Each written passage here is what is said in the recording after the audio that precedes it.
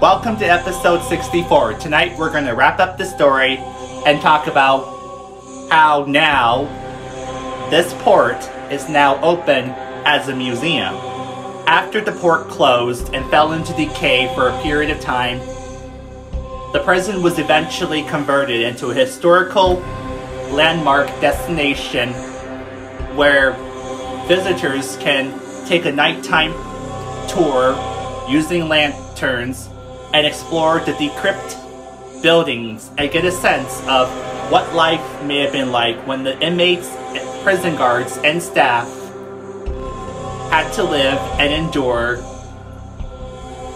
during its heyday in what many have called it the most hellish prison on earth.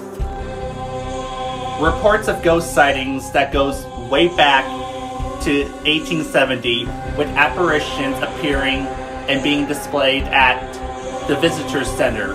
Mostly that of inmates that have died there and prison staff and guards that were killed there during the prison's heyday, or should I say, during the dark times. Among the visitors to the colony is, is that of Byron, a local Tasmanian who had a history of psychological and behavior problems. Apparently angry and despondent over financial situation, he opened fire at the colony's ground cafe killing 33 people and injuring 25, and one of Australia's most horrific events in Australia history. Byron was eventually captured the next day and confessed and was given a 35 life sentence, which led to the tightening of gun control in the country.